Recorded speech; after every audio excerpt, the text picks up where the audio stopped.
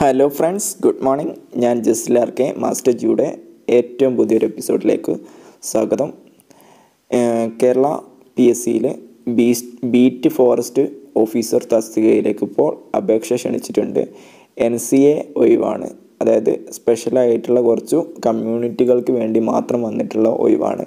നിങ്ങൾ P S സിയിൽ one time registration ചെയ്തിട്ടുണ്ടെങ്കിൽ നിങ്ങൾ നോട്ടിഫിക്കേഷൻ ചെക്ക് ചെയ്താൽ നിങ്ങളുടെ കമ്മ്യൂണിറ്റിയിൽ എലിജിബിൾ ആണോ അല്ലേ എന്നുള്ളത് മനസ്സിലാകും ബീറ്റ് ഫോറസ്റ്റ് ഓഫീസർ എന്ന് പറയുമ്പോൾ പ്ലസ് ടു പാസ്സായവർക്ക് അപേക്ഷിക്കാൻ പറ്റിയ ഒരു കോൺസ്റ്റബിൾ ആ ലെവലിലുള്ളൊരു എക്സൈസ് ഓഫീസർ ആ ലെവലിലൊക്കെ ഉള്ളൊരു പോസ്റ്റാണ് ബീറ്റ് ഫോറസ്റ്റ് ഓഫീസർ ഫോറസ്റ്റ് ഡിപ്പാർട്ട്മെന്റിലേക്കാണ് ഇതിലേക്ക് സാലറി സ്കെയിൽ വരുന്നത് ഇരുപതിനായിരം മുതൽ നാൽപ്പത്തയ്യായിരത്തി എണ്ണൂറ് രൂപ വരെയാണ് സാലറി വരുന്നത്. ഡിഫറന്റ്ലി ഏബിൾ ഏബിൾഡ് കാൻഡിഡേറ്റ്സിനൊന്നും അപ്ലൈ ചെയ്യാൻ പറ്റില്ല. ഡിസ്ട്രിക്ട് വൈസ് ആയിട്ടാണ് അപ്ലിക്കേഷൻ കൊടുക്കാൻ പറ്റുക. കാറ്റഗറി നമ്പർ അറുന്നൂറ്റി തൊണ്ണൂറ്റൊന്ന് തൊണ്ണൂറ്റി മൂന്ന് ബാർ രണ്ടായിരത്തി ഇരുപത്തി ഒന്നിൽ ലാത്തിൻ ലാത്തിൻ കത്തോലിക് കമ്മ്യൂണിറ്റിക്കാണ് അപ്ലൈ ചെയ്യാൻ പറ്റുക. തിരുവനന്തപുരത്ത് ഒരു വേക്കൻസി ഉണ്ട് പാലക്കാട് ഒരു വേക്കൻസി അങ്ങനെ വയനാട് ഒരു വേക്കൻസി എന്നിവയാണുള്ളത്. പിന്നെ അറുന്നൂറ്റി തൊണ്ണൂറ്റി നാല് ബാർ രണ്ടായിരത്തി ഇരുപത്തൊന്നിൽ scheduled caste converted to Christianity അതിൽ എറണാകുളത്ത് ഒരു വേക്കൻസി ഉണ്ട്. പിന്നെ കാറ്റഗറി നമ്പർ അറുന്നൂറ്റി തൊണ്ണൂറ്റഞ്ച് ബാർ രണ്ടായിരത്തി ഇരുപത്തൊന്നിൽ വിശ്വകർമ്മ കമ്മ്യൂണിറ്റിക്ക് തൃശ്ശൂർ ഒന്നും വയനാട്ടിലൊന്നുമാണ് വേക്കൻസി ഉള്ളത്. പിന്നെ അറുന്നൂറ്റി തൊണ്ണൂറ്റാറ് ബാർ രണ്ടായിരത്തി ഇരുപത്തൊന്നിൽ C S I U C Nadar കമ്മ്യൂണിറ്റിക്ക് Kasaragod ഒരു വേക്കൻസി വേക്കൻസിയാണുള്ളത് ഇങ്ങനെ ഈ കമ്മ്യൂണിറ്റികൾക്ക് മാത്രമേ എൻ സി എ വേക്കൻസി ആയതുകൊണ്ട് അപ്ലൈ ചെയ്യാൻ പറ്റുള്ളൂ. അതുകൊണ്ട് തന്നെ ഈ കമ്മ്യൂണിറ്റിയിൽ ഉള്ളവർക്ക് ഈ ഏത് ജില്ലകളിലേക്കും അപ്ലൈ ചെയ്യാവുന്നതാണ്. മറ്റ് കമ്മ്യൂണിറ്റികൾ അപ്ലൈ ചെയ്യുകയാണെങ്കിൽ ആപ്ലിക്കേഷൻ റിജക്റ്റ് ആവുന്നതാണ്. എന്തായാലും ഇതിലേക്ക് ഈ മുകളിൽ പറഞ്ഞിട്ടുള്ള ജില്ലകളിലേക്കാണ് അപ്ലിക്കേഷന് വന്നിട്ടുള്ളത്. ഇത് ഡയറക്റ്റ് ആയിട്ടുള്ള റിക്രൂട്ട്മെന്റ് ആണ്. മുകളിൽ പറഞ്ഞിട്ടുള്ള ഏതെങ്കിലും കമ്മ്യൂണിറ്റി പെട്ടവർക്ക് ഇതിലേക്ക് അപ്ലൈ ചെയ്യാവുന്നതാണ്. പത്തൊമ്പത് വയസ്സ് മുതൽ മുപ്പത്തിമൂന്ന് വയസ്സ് വരെ ഉള്ളവർക്ക് അപ്ലൈ ചെയ്യാം. രണ്ട് ഒന്ന് ആയിരത്തി തൊള്ളായിരത്തി എൺപത്തി എട്ടിനും ഒന്ന് ഒന്ന് രണ്ടായിരത്തി രണ്ടിലും ഇടയിൽ ജനിച്ചവർ ആയിരിക്കണം. പിന്നീടുള്ള കാര്യങ്ങളാണ് ഇതിന്റെ എഡ്യൂക്കേഷൻ ക്വാളിഫിക്കേഷൻ. പ്ലസ് ടു പാസ്സായിരിക്കണം എന്നുള്ളതാണ് മിനിമം യോഗ്യതയായിട്ട് വരുന്നത്.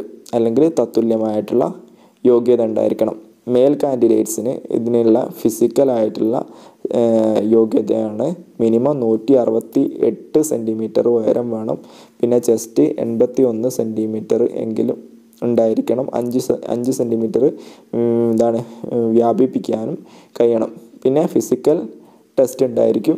എട്ട് ഐറ്റം ഉണ്ടാവും നാഷണൽ സ്റ്റാൻഡേർഡ് പ്രകാരമുള്ള വൺ സ്റ്റാർ വൺ സ്റ്റാർ സ്റ്റാൻഡേർഡിലുള്ള ടെസ്റ്റുകളാണ് ഉണ്ടാവുക. എട്ടെണ്ണത്തിൽ അഞ്ചെണ്ണം പാസ്സാകണം നൂറ് മീറ്റർ ഓട്ടം high jump long jump shot put cricket ball throwing rock climbing pullup chinning pullup അല്ലെങ്കിൽ ചിന്നിങ് ആയിരത്തഞ്ഞൂറ് മീറ്റർ മീറ്റർ ഓട്ടം എന്നിവയിൽ അഞ്ചെണ്ണം നിങ്ങൾ പാസ്സായിരിക്കണം പിന്നെ എല്ലാ മെയിൽ കാൻഡിഡേറ്റ്സും എന്താണ് ഇതിനൊരു എൻഡൂറൻസ് ടെസ്റ്റ് ഉണ്ടാവും. ഓട്ടം രണ്ട് കിലോമീറ്റർ പതിമൂന്ന് മിനിറ്റ് കൊണ്ട് കംപ്ലീറ്റ് ചെയ്യണം.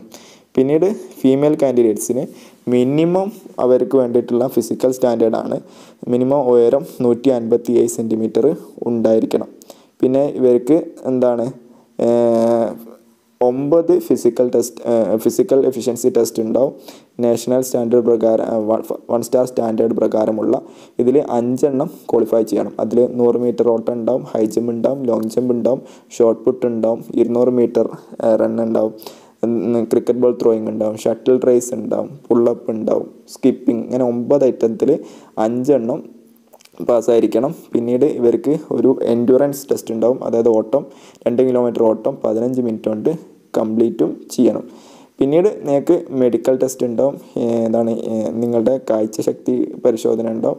പിന്നെ കേൾവി പരിശോധനയൊക്കെ ഉണ്ടാവും. ഇതിന്റെയൊക്കെ അടിസ്ഥാനത്തിൽ ആയിരിക്കും നിങ്ങളുടെ സെലക്ഷൻ ഉണ്ടാവുക. അതുപോലെ കമ്മ്യൂണിറ്റി കമ്മ്യൂണിറ്റികൾക്ക് ഇപ്പോൾ അപ്ലൈ ചെയ്യാവുന്നതാണ്.